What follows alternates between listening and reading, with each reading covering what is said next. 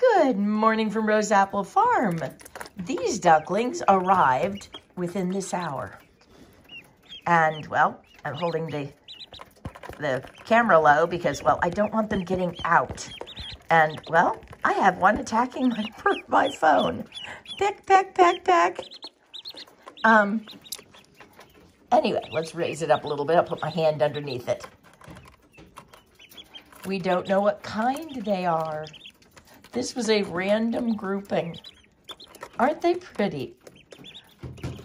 And I know what kind I have on the other batch. I have a batch of uh, runner ducks in the other brooder. They're much bigger now. And well, these little guys just arrived. They're tiny. They're tiny little fellas. Look at that. Oh my goodness, I've got one nibbling my fingers.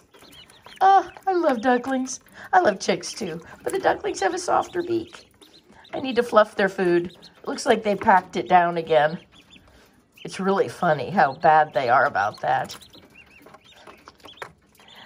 But I don't have a proper long narrow dish because, well, this brooder has, if you see it, the metal things rise and there's a little opening so that they can stick their heads through. The problem is if it's big enough for their heads to go through and there's this size, they can get through it. They can make their body follow. So I have to use dishes until they're bigger. Now the bigger ducklings, they've got, you know, oh great, now I gotta change the water again. Somebody pooped in it. Ew, ew, ew, don't drink that. Okay, this is Rose Apple Farm. Bye, gotta change the water again.